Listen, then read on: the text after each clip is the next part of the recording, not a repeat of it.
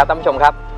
สวัสดีค่ะ ขอต้อนรับคุณผู้ชมเข้าสู่รายการหัตถจิตนะคะ รายการที่จะเปลี่ยนแปลงชีวิตคุณด้วยศาสตร์ของลายเซ็นครัค่ะบทุกวันถึงวันศุกร์นะคะ6โมงถึง1ทุ่มครึ่งอยู่กับมวยค่ะ และอาจารย์หัตถานเลขจิตค่ะ สวัสดีครับน้องมวย สวัสดีค่ะอาจารย์ค่ะ โอ้โห ช่วงนี้นะฮะฝนตกบ่อย โอ้ใช่พร้อมค่ะกับตกมามีสายบุญมาด้วยอ่าที่บ้านมีสายลุงใช่ไหมบ้านอาจารย์ที่สายบุญเนี่ยนำทางตั้งแต่ออกจากบ้านเนี่ยค่ะครับเพราะว่าต้องบอกว่าตั้งแต่ สัปดาห์ที่ผ่านมา ครับ อาจารย์ลงพื้นที่โอ้โหแต่ละที่แต่ละที่ทั้งเรื่องของวัดเอง ลงไปดูพื้นที่นะ ไปเตรียมในส่วนของแผ่นทองต่างๆ ในการทำพิพิธีอธิษฐานจิตด้วย ครับในการหล่อพระนะฮะอืม เพราะท่านผู้ชมนะฮะจะทราบเลยว่าณช่วงเนี้ยนะครับ ผมก็จะทำพิธีค่ะ พิธีอะไรบ้างค่ะน้องมต้องบวอกว่ามีทั้งส่วนของเททองเทเททองหล่อพระเททองหล่อพระหลักๆก็คือพระศิวลีใช่ค่ะนะที่เอ่อวัดสมานมิตรค่ะตำบลกระเฉดอำเภอระยองจ่าจังหวัดระยองซึ่งเพิ่งค่ะผ่านมาเนี่ยฮะอ่ก็ได้ทำพิธีเนี่ยอย่างที่เห็นแผ่นดวงเนี่ยผมก็ได้ทำพิธีนะฮะโดยนิมนต์พระเดชพุทธเจ้าพระเทรานุเทระที่วัดนั้นนะครับค่ะได้อธิษฐานจิตอืมคือปกติเนี่ยไปถึงวัดแล้วเนี่ยส่วนใหญ่แล้วก็เขียนเขียนเขียนลงลงชื่อไปค่ะแต่ไม่ใช่นะฮะในนี้ก็จะมีแผ่นเงินทองนาคซึ่งถ้าเราเห็นเนี่ยก็จะเห็นรูปลักษณ์นะฮะ รูปลักษณ์เป็นรูปเหมือนกับว่ามีอ่าพระพุทธหารจอมราชันอยู่ในแผ่นทองนี้ด้วยใช่ครับอ่าเรานำมาแผ่นทองที่ไม่ถือว่าเหลือค่ะแต่เป็นแผ่นทองที่เราได้เข้าพิธีตั้งแต่อ่าตั้บูงแต่ชาเททองสักการะเททองพระพุทธหารจอมราชันค่ะนะหลายวาระหลายพิธีตรงถึงณวันเนี้ยจะได้หล่อหลอมเป็นพระพุทธหารจอมราชันหล่อหลอมเป็นพระศิวลีนะฮะก็สูงประมาณ4สี่เมเมตตรรประมาณโดยประมาณใช่ประมาณ4เมตร แล้วก็นคจะได้หล่อหลอมเป็นอ่า พระประจำอุโบสถเนื้อเงินทองนาคค่ะฉะนั้นพระศิวลีที่ท่านเห็นอยู่นะฮะเราก็คงจะมีโอกาสได้หล่ออืมจำนวนน่าจะเป็นร้อยแปดองค์ค่ะนะแล้วก็เป็นสีทองโอ้โหฉะเนี่ยนั้นแล้วหลายคนเนี่ยได้จองได้สั่งไว้ใช่แน่นอนทุกคนก็จะเป็นเจ้าของค่ะแล้วเงินพวกเนี้ยเอาไปทำอะไร เราก็เอาไปสร้างโบสถ์อืมนะฮะเราก็จะไปเติมเต็มในองค์พระค่ะจะเป็นพระพุทธเจราชใช่พระประธานด้วยเราต้องหล่อหล่ออมก็ที่วัดวารีศิลารามอำเภอวังหินจังหวัดศรีสะเกษค่ะคือช่วง 2 วันที่ผ่านมานะครับ ผมก็ให้น้องทีมงานของเราแน่ยลงพื้นที่ไปนะครับอืมไป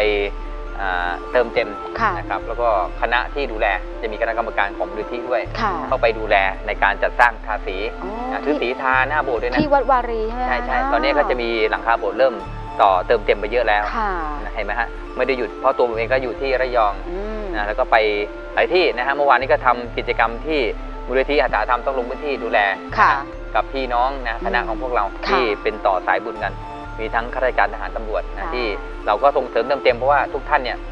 อย่างล่าสุดเมื่อวานนี้นะฮะต้องเอ่ยชื่อเลยค่ะอ่าพันเอกนะครับอ่าเอ่อเนี่ยมียุทธพรสุค่ะวรรณพาสนะฮะค่ะรองเลขานุการกองทัพบกอ้าวนะก็เรียกเชิญผมเข้าไปโอ้เชิญตัวเข้าไปแล้วตอนนี้นะค่ะครับไปร่วมบุญท่านผู้ชมอย่าเพิ่งตกใจ คือเราไปร่วมบุญกันท่านเองท่านเป็นประธานนำประธานในการหล่อคือจะเป็นพระ องค์อ่าพระพุทธราชค่ะอ่าแล้วก็ท่านเป็นศิษย์มีครูเหมือนกันใช่ก็ค่ะน้อมศรัทธาครูต้องบูชาบูชาบูพระชาพก่อนระอืมก็ไปหล่อหลอมพระกันนะฉะนั้นหลากหลายท่านเมื่อวานนะนายทหารหลายคน เดี๋ยวมีที่สำคัญนะก็คือที่อ่าวัดสมานมิตรท่านก็จะลงพื้นที่ไปด้วยโอ้ยฉะนั้นเป็ในช่วงนี้นะครับร่วมบุญพี่น้องร่ทวมกัหารด้วยนะฮะมาร่วมบุญสร้างกุศลกันเยอะใช่ค่ะไม่ใช่คนสองคนแล้วตอนนี้านะครับ ตอนนี้บอกใช้ว่าเป็นคหลายณะๆคนเลยนะคณะนะคะใหญ่ที่มาครับร่วมบุญร่วมกันนะคะ ฉะนั้นเนี่ยแหละค่ะรอบปีนี้นะใครที่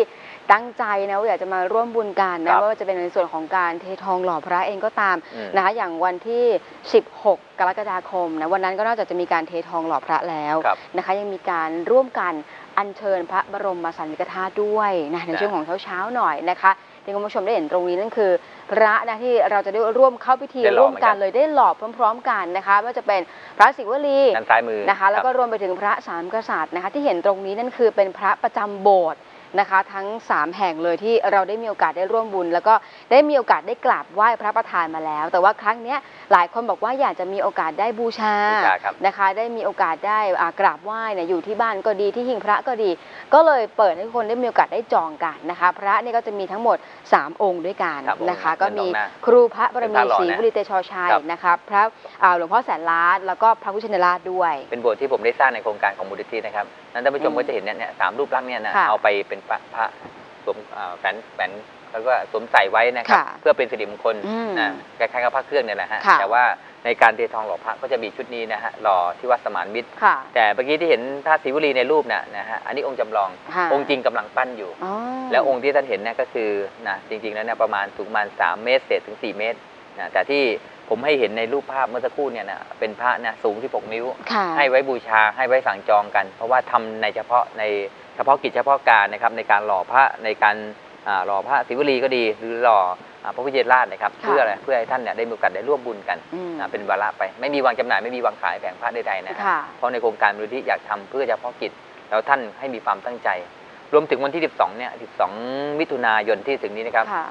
จะมีพระป่าที่วัดสมานมิตรด้วยอืผมเองก็จะเป็นเจ้าพิธีนะฮะเสริมศิริตา แล้วเงินทั้งหมดสร้างโบสถ์แล้วก็จะจัดสร้างพระศิวลีนะครับอ่าชุดที่น้องมวยจะเห็นว่าชุดสวมใส่คอนะฮะอาจจะเป็นองค์เล็กๆนะสวยงามนะหลากหลายท่านคงเคยเห็นเนี่ยก็สามารถบูชาที่นั่นอืมเงินทั้งหมดเนี่ยเอาไปอ่า สร้างโบสถ์ที่อ่าวัดสมานมิตรค่ะตำบลกระเฉดจังหวัดระยองในวันที่ 12 นี้นะครับอืมนะคะว่าคุณผู้ชมได้เห็นแล้วแหละว่าทุกบาททุกสตางค์ที่ได้ร่วมบุญกันตั้งแต่กระถินก็ดีพระป่าครับก็ดีนะหรือว่ากิจกรรมในการเสริมสืบชะตาต่างอืๆมเนี่ยนะคะเราเห็นโบสถ์ที่อยู่ในโครงการครับตอนนี้คือเริ่มต้นเนี่ยอย่างโบสถ์ที่วัดสมานมิตรครับต้องบอกว่าเริ่มตั้งแต่พื้นที่ว่างเปล่าเลยใช่แต่ตอนนี้ก่อร่างขึ้นมาเป็นโครงนะคะ แล้วก็ได้มีโอกาสได้เห็นขั้นตอนต่างๆ คือ สามารถที่จะตรวจเช็คนะแล้วก็ได้มีโอกาสได้เห็นภาพ ความเคลื่อนไหวอัปเดตต่างๆ ได้เลยนะคะ ว่าทุกบาททุกสตางค์นั้น ไปร่วมบุญไปสร้างกุศลร่วมกันจริง ๆนะคะใครที่มีโอกาสได้ไปร่วมบุญกันมาครับก็หลายที่นะฮะก็ถือว่าพวกท่านทุกคนนะฮะมีโอกาสได้ร่วมบุญกันอืมบุญเนี่ยทำแล้วนะฮะอย่าไปติดใจอย่าไปหมองใจว่าทำแล้วไม่สำเร็จทำแล้วไม่ได้ค่ะมันได้ตั้งแต่เริ่มต้นทำอืมแล้วทำมากๆมันก็จะปล่อยปลงมามันก็จะผ่อนคลายในสิ่งต่างเนี่ยให้ให้ให้ละลายหายไปค่ะบางทีเนี่ยทำต้องทำแน่วแน่มันอุปสรรคเยอะ คือผมเรียนทราบว่าตั้งแต่เริ่มต้นนะฮะในการสร้างพระนะเรื่องโบสถ์มาเนี่ยไม่ใช่ว่าโอ้โหทำมาเพอร์เฟกต์รวดรู้นะฮะโอ้นักมวยเนี่ยนักมวยทีมงานพี่น้อยเราจะรู้ใจว่าจันทถาเจอเยอะ ใช่ บางครั้งอยากจะทำด้วยหัตถานะแต่สองขาคนอื่นไม่เดินตามด้วย อืมก็ต้องลงมือบางทีก็ต้องเดินจากเพค่ะราะว่าไม่ใช่สองขาเรา ค่ะแต่ก็ต้องเดินหน้าด้วยแรงศรัทธาแล้วก็ยอมให้ตรวจสอบอืม อย่าลืมนะฮะในการที่เป็นประธานบูรที่เนี่ยมันแน่นอน ทุกอย่างต้องลงมือด้วยตัวเองค่ะแล้วทุกอย่างก็ต้องมีที่มาที่ไปใช่ไม่ว่าจะใบอนุโมทนาบัตรผมทำให้หมดนะฮะวัดวาอารามที่บริจาคข้างในคือบางครั้งเนี่ยบางอย่างบางสิ่งเนี่ยก็เลยบอกว่ามูลนิธิอยากให้มีเงินเหลือในคลองคลังไว้อืเต็มที่ให้เหลือ 999 บาท เต็มที่ก็ไม่เกิน 1,999 บาท ค่ะ พอถ้าเราไม่อยู่แล้วเราไม่ได้เป็นประธานมูลที่เราก็สบายใจค่ะ นะกรรมการนะฮะคณะครูบาอาจารย์ท่านก็สบายใจ อืมแล้วเวลาเกิดมีผู้บริหารมาดูแลมูลที่ใหม่ ค่ะ ก็สบายใจ อืม เพราะว่าเราจะได้โปร่งใสจริงใจเสมอ ค่ะเงินเนี่ยจะได้ไปโบสถ์เต็มที่ เงินเนี่ยจะได้สู่พระเต็มที่อืม แล้วท่านก็เห็นนะถึงมือผมมาสบาย ไม่มีว่าหายไปไหนนะเพราะว่าอะไรเพราะเราทำจริงค่ะๆถามที่วัดอ่าวัดล่าสุดเลยนะฮะทำจนนะฮะพระเทรานุระอ่าพระเทรานุระเห็นใจนะว่า เงินพวกเนี้ยมันเป็นเงินที่ลงทุนจากลำแข้งแรงกายของผมจริงๆ เงินที่มาจากการเป็นค่าจ้างแรงงานเป็นพิธีกรค่ะเขามีสตังค์ให้อ่าแต่ก็ต้องจัดแบ่งจัดปันส่วนไป แล้วก็เอาไปสร้างวัตถุมงคลอืมเพื่อเห็นไหมฮะเพื่อต่อยอดง่ายๆนะฮะหลักทฤษฎีง่ายๆเลย ถ้าผมสร้างเนี่ยเงินเนี่ยนะฮะเอาเงินมาสร้างพระเนี่ยห้าหมื่นแสนหนึ่งสองแสนค่ะสุดท้ายแล้วต่อยอดได้โบสถ์ได้เป็นล้านเลยอ๋อใช่ไหมใช่ใช่ท่านต้องบูชาค่ะไปมันมีฮะ แต่มูลค่าในการอธิษฐานจิตพุทธวิเศษกมันไม่มีอืมีแต่เพียงว่าแรงใจผมทำทำเสร็จแล้วทำพิธีเจ้าพิธีเอง พุทธาโดยพระเดชคุณเจ้าท่านเจ้าวาดแค่ค่ะนั้นแหละอืมันเป็นแค่น้ำใจต่อสายเยื่อใยสายใยพุทธศาสนาแล้วก็นำพาแรงศักดิ์สิทธิ์เลยเกิดขึ้น ผมไม่ได้หยุดวิ่งหยุดเดินนะฮะในเป็นเจ้าพิธีก็ต้องหาวัตถุมงคลหรือว่าเสริมตัวเองให้ดีขึ้น ด้วยการนั่งสมาธิแทบทุกวันนะครับเจริญกสินไฟอย่างต่อเนื่อง แล้วก็ประเทืองเรื่องของเจ้าพิธีอืมทุกวัดก็จะมีพิธีกรรมค่ะทำไมต้องบวงสรวงบ่อยๆต้องบอกกล่าวเทพเทวดา แล้วก็ประทานพรนะฮะให้ในโบสถ์ในวิหารหรือแม้แต่แผ่นยันอักขระโภกทรัพย์นะจะเป็นพระพุทธฐานก็ดี หรือยันโภกทรัพย์ที่ท่านทำเนี่ยมต้องทำพิธีก่อนค่ะนะฮะละเอียดขนาดนั้นเลยนะท่านผู้ชมนะฮะที่เมตตาและเห็นใจอยากสร้างพระกับผมนะฮะอยากร่วมนะฮะร่วมของพระพุทธเจ้านะครับ เพราะว่ามีเจ้าภาพเจตนาสร้างแต่สุดท้ายแล้วก็มันอาจจะไม่สะดวกนะครับค่ะนะมีบุญก็ต่อบุญกันต่อ สุดท้ายผมก็ต้องเป็น นะเป็นขันประอาธานสาร่วมด้วย มาเป็นประธานค่ะ มาหลักมานี่ร่วมแหละฮะมาให้คนให้ทุกคนได้มีโอกาสมาร่วมกันกับใช่แล้วก็ครูบาอาจารย์พระศรีวลีนี่ก็ยังนะฮะยังยังอืม ถือว่ายังมีบุญนะฮะยังมีโอกาสนะฮะล่าสุดก็มีนะครับมีพี่ใจดีท่านหนึ่งนะครับนะฮะคงไม่ได้เอ่ยนามท่านก็มาร่วมๆกัน อืมพระศิวลีเนี่ยมูลค่าสร้างประมาณ3อ่าสามแสนห้าโอ้ส่วนพระพระพุทธชินราชประมาณนะฮะรวมๆกัน 5 6 แสนบาทนั้นถ้ารวมกันเนี่ยถ้าสมัยก่อนไม่กลัว อืม ถ้าช่วงนี้เศรษฐกิจนี้นะครับเราก็ค่ะ เข้าใจว่าก็ค่อยขยับไป อืม ก็มีวิธีเดียวนะฮะให้ มีวัตถุมงคลอย่าลืมเนี่ยไม่ใช่เฉพาะตรงนี้มีโบสถ์อีกอะใช่ค่ะคือฝนมันเริ่มตก มแต่ละวัดต้องการโบสถ์ค่ะมีต้องการโบสถ์โบสถ์หนึ่งเนี่ยลัคานักมวยบางที่ที่ขอมาจำชื่อวัดไม่ได้ที่ฉะเชิงเซาเนี่ยคือข้างล่างเสร็จ ข้างหลังไม่มีเหมือนกันอ๋อ นะครับ คือบางทีเนี่ยฝนมันตกนะ ค่ะเราเข้าใจว่าปูนจะพังค่ะนะฮะเหล็กจะเสียทันทีเลย อ่าเพราะว่ามันอมน้ำค่ะอุ้มน้ำไม่ได้ค่ะไม่ซึมออก เพราะมันกลายเป็นว่ามันก็จะไปรูกัดก่อน กร่อนอ่าเหแล้ล็วกแล้วก็กลายเป็นว่ามันก็จะเริ่มสนิมผุมันเกาะอืมแทนที่มันจะได้มีโอกาสได้เริ่มสร้างเรื่อยๆมันก็ต้องมาซ่อมแซมไอ้บนหัวใจเราแหละอ่านะถ้าสนิมมันเกาะมันก็ไม่อยากทำอะไร ค่ะอยู่เฉยๆดีกว่า อืม แต่มันอดไม่ได้นะครับเพวันราะนี้ว่าก็เจอเพิ่งเจอมาประมาทเลยนะเจอมันได้มาแต่มองหน้ากันโอ้โหเดี๋ยวมันก็พูดอะไรไม่ได้เยอะแล้วฮะอ่า บอก คือไงก็แล้วแต่นะสิ่งที่ตามทำไว้นะในเรื่องแรงศรัทธาสำคัญศรัทธาอย่างมีปฏิหารย์ค่ะศรัทธาอย่างทำจริง แล้วก็อยากนะฮะอยากคิดว่าในโลกสังคมอะให้หาคนดีๆเยอะๆมันจะได้เกื้อกูลกันค่ะไม่ว่าพี่น้องทหารพี่น้องตำรวจนะฮะอืมทุกอาชีพเนี่ยมาหมดค่ะทุกคนพร้อมใจกันอืมแต่ไม่ได้ออกหน้าออกตาเยอะเพราะอะไรบางครั้งเนี่ยนั่นก็ต้องเซฟตัวไปนิดหนึ่งค่ะเพราะว่าบุญเนี่ยทำไว้ในใจ เก็บไว้อืมให้คิดแล้วก็เดินต่อค่ะอ่าพี่น้องครูบาอาจารย์ พี่น้องหลาย ๆ คนที่เป็น นะอยู่ในชั้นวรรณะใดก็ตามเนี่ยค่ะทุกๆคนมาร่วมกันนะแล้วก็ชื่นใจ อืม ไปไหนก็จะมีแต่พักตังค์ให้เงินให้เดี๋ยวนี้กลายไปไม่ต้องมีบาทแล้วนะฮะคือหมายตัวไปผมร่วมนะบุญกันเลยไม่ต้องถือพานไปใส่ห่อเขาก็ร่วมบุญกัน ใช่ค่ะแล้วหลายคนบางทีเนี่ยล่าสุดนะฮะพี่แดงน้อย โอ้ก็ร่วมบุญจากนะออสเตรเลียเอนะออ่ร่วมบุญมาด้วยนะฮะร่วมบุญสร้างกุศลร่วมโบสถ์สร้างพระมา ค่ะ คือพระมีสองพระหลักๆเลยอืมแล้ววันที่สำคัญนะฮะต้องขอบคุณพระครูศรีชยานุวัฒน์นะครับโอ้ อ่าท่านก็อ่าท่านเป็นรองอ่าค่ะ เขาเรียกนะรองเลขานุการนะของค่ะท่านเจ้าวาดวัดค่ะอรุณที่วัราดชอรุวณรารามนะครับค่ะท่านก็เมตตานะฮะเขาเรียกว่ามมออบบพระพระบรมสาสารีรีริริกกธาธาตุตุที่พวกเราเนี่ยที่มีโอกาสได้น้อมนำอัญเชิญเนี่ยไปไว้อ่าที่วัดสมานมิตรนะอืมนี่เพิ่งเข้าประชุมมาโอ้โหครับนี่ไงบอกว่างานนี้งานใหญ่จริงๆในรอบปีนี้นะคะ แล้วก็บอกว่าเหนือสิ่งอื่นใดเนี่ยคือเราทุกคนได้มีโอกาสได้มาร่วมบุญแล้วเนี่ยเราก็ยังได้ต่อยอดพุทธศาสนาด้วย ทั้งสร้างพระ นะทั้งร่วมการดูแลโบสถ์เองก็ตามนะคะ แล้วก็แผ่นเมื่อกี้เนี่ยทองตะกรุดเนี่ยทั้งหมดนี้นะอ่าแผ่นเงินทองนาคเนี่ยก่อนที่จะถึงมือทุกๆ คนในการครับ ที่อาจารย์จะลงชื่อนามสกุลวันเดือนปีเกิด แล้วก็นำเข้าร่วมพิธีในการเททองนั้นเนี่ยใช่อาจารย์ก็ไปที่วัดสมานมิตรมาล่าสุดเลย ลงพื้นที่กันไปไปดูพื้นที่ไปพูดคุยนะกับพระเดชพระคุณเจ้า อ่า หลวงพี่วินด้วยนะครัคะ บได้พูดถึงท่าขั้นนเจ้าตอนวาดด้วยฮะต่างๆ ท่านเจ้าอาวาสด้วย แล้วก็ ยังมีโอกาสได้นำแผ่นทั้งแผ่นแผ่นทองเนี่ยเงินทองนาคนี้เข้าร่วมพิธีผมไปบวงสรวงเองเลยอนะฮะธิษฐานจิตอธิษฐานจิตบวงสรวงโอ้เทวดาเสร็จแล้วก็ให้พระเดชคุณเจ้าเจิมอะไปชมภาพชมกันเลยท่านผู้ชภาพมมานะฮะฝากครับด้วยนะชมภาพเลยดีกว่าค่ะ เชิญครับ ท่านผู้ชมครับ วันนี้อะผมอยู่ที่จังหวัดระยองนะครับ ในตำบลกระเฉดอำเภอเมือง ซึ่งท่านผู้ชมทางบ้านแฟนรายการทุกคน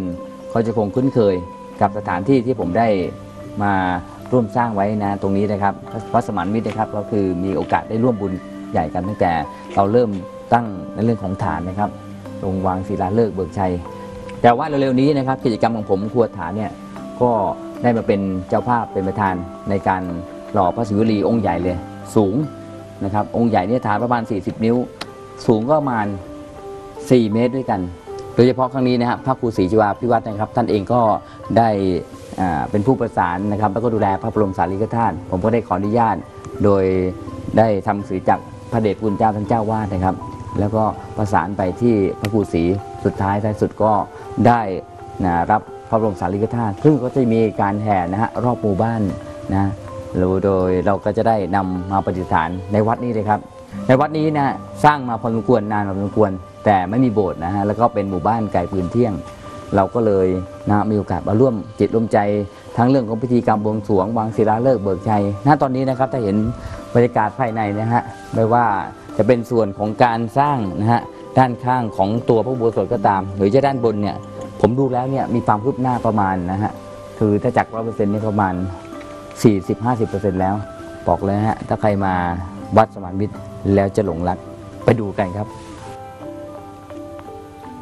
สถ์สวยมากเลย คือตั้งแต่ตอนแรกเนี่ยงามไหมโอ้โหงามมากอัค่ะนนี้แล้ว คล้ายๆกับวัดวัดเลยไหมวัดวาลีดีใกล้ๆเคียงกันเลยนะฮะอ่าใช่ เหมือนกันเลยฮะถ้าเอาภาพสองภาพมาชนมาจ้าเอกันเนี่ย ซึ่งนี่ใช้เวลาพร้อมๆกันไม่กี่เดือนเองใช่ไหมคะอาใช่จารครับย์เร็วมาก ทุกรวดเร็ว บาททุกสตางค์ที่ได้ร่วมบุญกันมาเนี่ยค่ะ เห็นเป็นเป็นโครงเป็นอิฐนะเป็นโครงต่างๆ เกิดขึ้นมาแล้ว จะเห็นภาพกันว่าถ้าทำจริงๆนะฮะบางทีซึ่งบอกเลยว่าเขามีเงินไหมเขามีอะไรเขาทำหมดนะฮะที่นี่ที่ ในศาลาใหม่เลยนะฮะเพิ่งเจริญฉลองไปเมื่อวานสองสามวันที่แล้วเออสัปดาห์ที่แล้วมั้งนะค่ะ อ่ายังสะอาดปลอดโปร่งโล่งใจนะฮะผมก็ได้กล่าวมาถึงอย่างพี่วินนะครับพี่วินนะฮะที่แนะนำไป ค่ะ สมัยก่อนที่อยู่กรุงเทพที่กรุงเทพท่านเป็นคนที่กระเฉดนะฮะค่ะ ระยองผมก็ได้ไปเวียนเทียนนะครับนี่ท่านนายกนะนายกท่านท่านอยู่ในเขตพื้นที่นะตำบลกระเฉดค่ะ นายกใจดีนะครับ บอกว่าจะมาร่วมกัน ที่จะมีหลวงพ่อดำสังดิษฐ์อ๋อนะเขาก็จะแห่หลวงพ่อดำอยู่แล้วค่ะ ประจำปีก็เลยว่าแห่ประวัติศาสตร์โอ้วันนั้นประชาชนนะฮะประชาชนหรือแม้แต่แฟนรายการหลากหลายคนก็มาโอ้ทางท่านผู้ใหญ่บ้านกำนันนะกำนันได้คุยได้เจอกันเห็นแล้วชื่นใจ ซึ่งวันที่ 16 กรกฎาคมครับ นะคะ เราเองก็จะได้มีโอกาสได้ไปที่วัดสมานมิตรแห่งนี้ครับนะคะ พิธีก็มีตั้งแต่ช่วงเช้าๆเลย มีทั้งอ่าในการอัญเชิญ พระบรมสารีริกธาตุครับนะคะ มีเททองหล่อพระนะคะ มีพิธีเสริมสืบชะตาด้วยครับหนึ่งวันเต็มๆนะคะ เราจะได้มีโอกาสได้ร่วมบุญร่วมกันก็ประชุมบอกกล่าวกันหมายค่ะ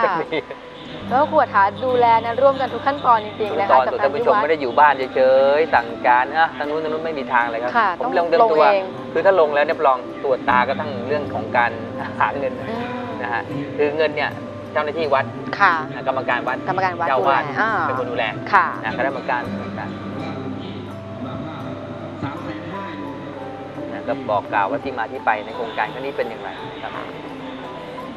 เป็นด้วยข่าวแล้วแล้วทำพิโอ้ธีนี่คือแผ่นหลวง แผ่นเงินทองหน้าค่ะใช่นะคะว่านำไปเข้าร่วมพิธีอาจารย์ทำพิธีในการบวงสรวงให้ครับ ฉะนั้นน่ะตอนนี้ใครที่อยากจะร่วมบุญกันโทรเข้ามาจองแล้วอย่าลืมบอกชื่อนามสกุลแล้วก็รวมไปถึงวันเดือนปีเกิดด้วยนะคะจะได้นำรายชื่อทั้งหมดเนี่ยมาจารึกเอาไว้ในแผ่นเงินทองหน้าแบบนี้ครับก็เป็นสิริมงคลกับท่านนะฮะเพราะว่าต่อไปก็คงจะมีโอกาสได้รอโบสถ์อ่ารอได้พระหล่อประพระจำร่วมกันที่โบโบสสถ์ถ์สดค่ะรับเป็นองค์ปฐมที่ท่านเห็นนี่เห็นไหมฮะคล้ายๆกันนี่ครับรูป ลักษณะนี้ครับ องค์สีแก้เงินเนี่ยท่านผู้ชมครับ อย่าลืมนะคะ เรามีนัดกันนะคะ 16 กรกฎาคมนะคะ ฉะนั้นใครที่อยากจะร่วมบุญการเนี่ยอย่างพระศิวลีที่อาจารย์ได้บอกว่าเราไม่ได้คือเราไม่ได้จัดสร้างมากมายนะเราจัดสร้างแค่ จำนวนจำกัดจริง ๆ ตามเท่าที่ทุกๆ ท่านได้โทรเข้ามาลงทะเบียน โทรเข้ามาแจ้งชื่อกัน เพราะว่านี่เป็นวาระพิเศษ ทุกบาททุกสตางค์จะได้ไปต่อยอดนะคะ ในเรื่องของการสร้างโบสถ์ในการสร้างพระศิวลีนะคะ สูงประมาณ 4 เมตรเลยนะแล้วก็รวมไปถึงพระพุทธชินราชซึ่งเป็นเป็นพระประธานที่เห็นตรงที่เนี้ย วัดวารีด้วย อันนี้เนี่ยเป็นเป็นของพระเดชพระคุณเจ้าอ๋อพระเทรานะฮะค่ะทำไมน้อย นะฮะแต่ที่เยอะคืออยู่ข้างบนอยู่ข้างพระค่ะแล้วเดี๋ยวท่านก็จะมีการเจิมนะครับโดยพระเดชพระคุณเจ้าพระเทราเทราเทราจิตตรงนี้ก็เป็นพระเจ้าวาดนะครับค่ะท่านก็ไปเจอแล้วก็มีพระเทราเทระพระมหานะหลายรูปนะที่มาร่วมด้วยช่วยกันนะฮะมีแรงตั้งใจสูงหลวงพี่เบนแกก็อยู่ช่วงปฏิวัติกรรมนะด้านการตัดหาออกมาก่อน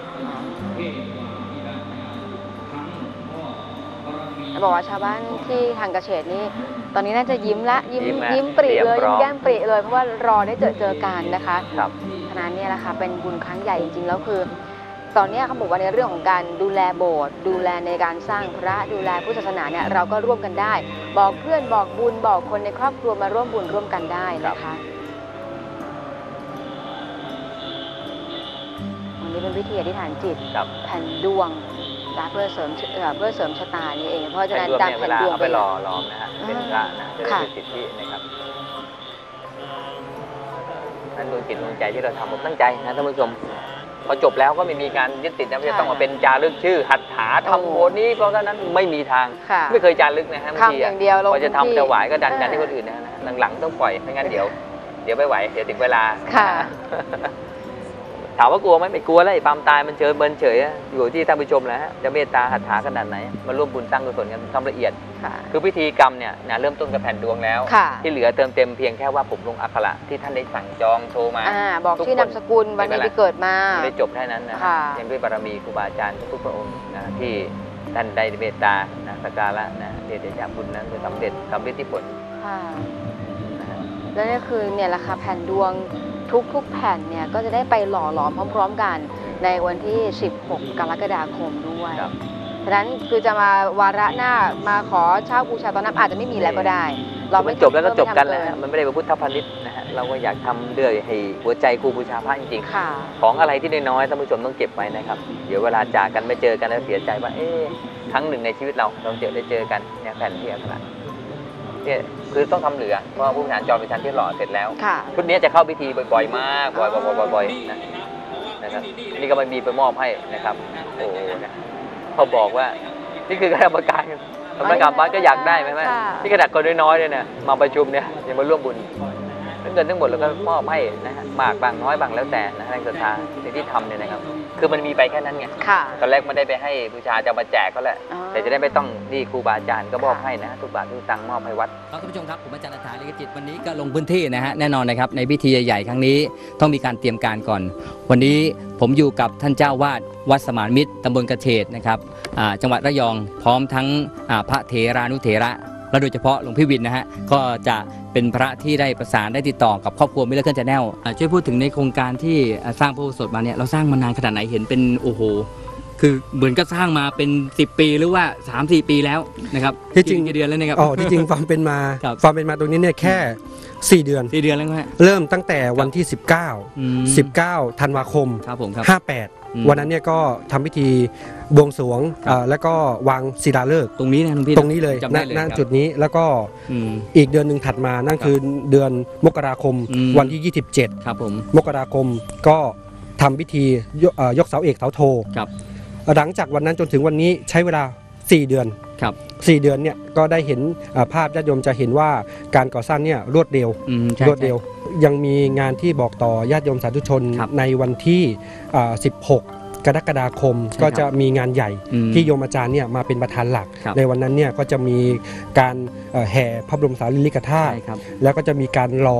เอ่อพระสีวลีใช่ครับแล้วก็จะมีการรอพระประจำอุโบสถอืมในโครงการของมูลนิธิหัตถธรรมครับอ่าโดยอาจารย์หัตถานี่แหละก็จะมาอ่ามาสร้างบุญกันในวันขอบคุณเอ่อพระอาจารย์วินนะครับ อีกท่านหนึ่งนะฮะซึ่งเป็นพระอ่า ท่านมหาสุเมธนะครับนะฮะต้องกราบด้วยการนิมนต์ด้วยความเคารพครับท่านครับพูดถึงอันนี้ส่งส์ผลบุญในการสร้างพระสร้างพระอุโบสถนะครับกับญาติโยมที่เป็นครอบครัว Miracle Channel พวกเราได้ทำบุญมาอย่างต่อเนื่องครับกราบนิมนต์ครับการสร้างบารมีโดยเฉพาะอุโบสถนี่เขาถือว่าเป็นเรื่องที่ยิ่งใหญ่มากครับเพราะว่าทุนทรัพย์นะบางคนก็มีน้อย บางคนก็มีมากฉะนั้นก็ต้องอาศัยศรัทธาครับทุนทรัพย์ด้วย แล้วก็เรี่ยวแรงเรี่ยวกำลังใจฉะ นั้นอานิสงส์นี้ก็ไม่สามารถที่จะประมาณบุญได้เลยครับแต่สิ่งหนึ่งที่เราทำได้ก็คือการสะสมในขณะที่เราความดีที่เรายังมีชีวิตอยู่ ฉะนั้นท่านใดที่อยากจะมีบุญวาสนาก็ให้สร้างสมบารมีด้วยการสร้างโบสถ์สร้างวิหารต่อไปก็จะมีบุญบารมีก็ได้เกิดในที่ดีๆ ฉะนั้นโอกาสที่เราจะได้ทำอย่างนี้ถือว่ามีน้อย ฉะนั้นก็ขอเชิญชวนทุกคนทุกท่านที่อยากจะสร้างนะวิหารทาน เพื่อเป็นบุญบารมีติดตามตนต่อไปในชาตินี้แล้วก็พบหน้า จะขาดเสียไม่ได้เลยนะฮะท่านผู้ใหญ่บ้านท่านผู้ใหญ่ครับสวัสดีครับ ผู้ใหญ่ชื่ออะไรครับอ่าผู้ใหญ่บุญพรหมเพิ่มสกุลนะครับโอ้ ผู้ใหญ่บ้านหมู่ที่สองตำบลกระเฉดครับเออครับผู้ใหญ่ผู้ใหญ่ดีใจมากวันเนี้ยเดี๋ยวเราจะมีโอกาสได้สร้างพระอุโบสถ 4 เดือนแล้วนะฮะไม่ถึง 4 ปีนะฮะก็จะเสร็จแล้วเนี่ยนะฮะมาไปไกลแล้วก็จะได้สร้างพระศิวลีอีกนะฮะยังไงก็มีความรู้สึกไงบ้างครับที่พวกคเรารับได้มาช่วยก็กันครับ ดีดีใจมากนะคครัรับ บ เพราะว่า โอกาสอย่างนี้หาไม่ได้อีกแล้วครับนะครับ ที่พวกเราชาวบ้านสมานมิตรของรครับถจันดี ชาวอืมตำบลกระเฉดครับชาวจังหวัดระยอง แล้วก็พี่น้องทั่วประเทศครับนะครับ ที่ได้ให้ความร่วมมือเป็นอย่างดีนะครับนามว่าจะโบสถ์กี่หลังก็ตาม เชื่อผมเลยฮะไม่มีบอกว่าไอ้สร้างโบสถ์นู้นโบสถ์แล้วจะตายนะครับถ้าตายผมคงตายไปแล้ว แต่ความดีนะฮะเป็นสิ่งที่ไม่ตาย แล้วก็เชื่อว่าโบสถ์ที่เห็นอย่างนี้นะครับนะคณะกรรมการ หรือแม้แต่ที่เราได้รับพรที่ดีๆไปแล้วเนี่ยก็จะส่งพลังให้ท่านผู้ชมทางบ้านแฟนรายการทุกคนนะครับร่วมมือร่วมจิตกันเรามาสร้างกันนะครับ วัดสมานมิตรนะฮะตำบลกระเฉดจังหวัดระยอง ถ้าท่านมาแล้วจะหลงรักที่นี่นะครับเอาละวันนี้ผมไปก่อน แล้วเดี๋ยวจะไปโบสถ์อื่นต่อโครงการเยอะมาก แต่อย่าลืมนะครับเรามีนัดกัน แล้วถ้าท่านใดว่างๆเนี่ย 12 มิถุนา ที่จะถึงนี้ผมจะมานะฮะเป็นเจ้าพิธี เพราะจะมีญาติโยมมาร่วมทอดพระป่ามาสร้างพระอุโบสถกัน แล้วหากท่านใดประสงค์ที่จะบูชาพระศิวลีนะครับ ชาวระยองจันทบุรีชนทบุรีชนบุรี หรือกรุงเทพนะถ้าเจอเจอกันนำมาทักทายกันได้ 12 มิถุนาเจอกันนะครับในช่วงประมาณ 10 โมงทอดพระป่าครับเอาละวันนี้ไปก่อนนะครับ สวัสดีครับ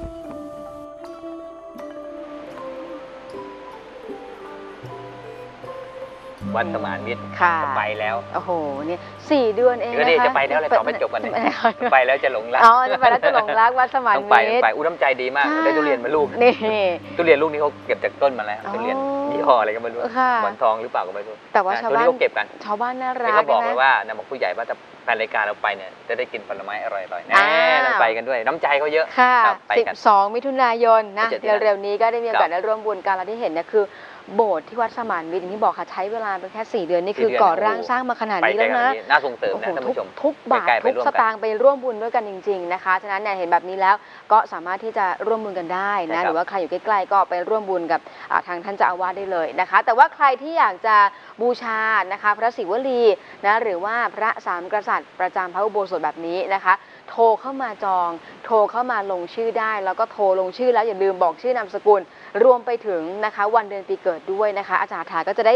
ลงชื่อลงอักขระให้ในแผ่นดวงโภกทรัพย์แบบนี้แหละค่ะแล้วจะได้ร่วมกันในการเททองหล่อพระด้วยนะคะเบอร์โทรศัพท์ด้านหน้านี้ 085 129 3697 แล้วก็ 083 199 7972 นั่นเองนะแต่ว่าอีกหนึ่งเรื่องราวดีๆนะคะมีอะไรครับที่ประชาสัมพันธ์ด้วยอืมเรื่องราวของเบอร์โทรศัพท์ค่ะ